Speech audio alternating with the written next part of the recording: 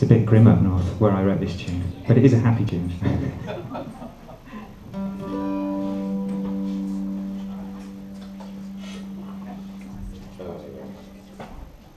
Yeah.